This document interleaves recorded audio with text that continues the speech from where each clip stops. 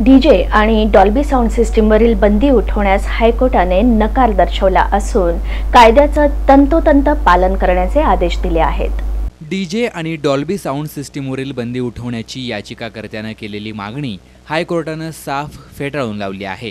गणेशोत्सव आणि नवरात्र महोत्सव संपल्यामुळं डीजे आणि डॉल्बीवरील बंदी तुर्तास उठवण्यात यावी अशी याचिका हायकोर्टात दाखल करण्यात आली होती.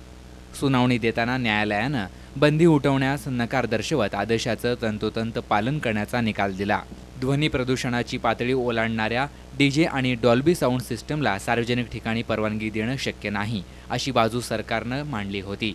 डीजे तसंच डॉल्बीच्या आवाजाची किमान पातळी हीच ध्वनी प्रदूषणाच्या कमाल मर्यादेच्या बाहेर आहे असा दावा करत राज्य सरकारनं बंदी उठवण्यास सक्त विरोध केला. अखेर हायकोर्टानं सरकारच्या निर्णयास सहमती दर्शवत डीजे आणि डॉल्बी साऊंड सिस्टीमवरील बंदी उठवण्यास स्पष्ट नकार दिला.